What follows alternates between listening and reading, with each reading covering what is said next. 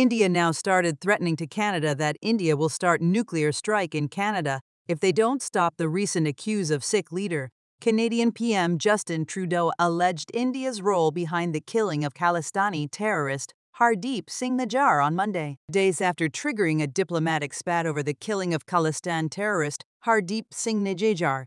Canadian Prime Minister Justin Trudeau is yet to present any substantial evidence to back his credible allegations of India's role in the murder. While Trudeau has claimed that Canada shared the information on allegations with New Delhi weeks ago, India has denied the allegations and said it has been provided no specific information regarding it. Meanwhile, as the escalation refuses to die down, India on Friday bluntly told Canada to act against pro Khalistan elements with links to organized crime that are targeting Indian diplomats. Additionally, in a crackdown on Sikh separatists domestically, the National Investigation Agency on Saturday confiscated the properties of pro Khalist outfit Sikh for Justice's founder Gurpatwant Singh Pannun. Pannun was a close ally of Nijjar, who headed Canada's unit of the outfit until being gunned down in June near Vancouver.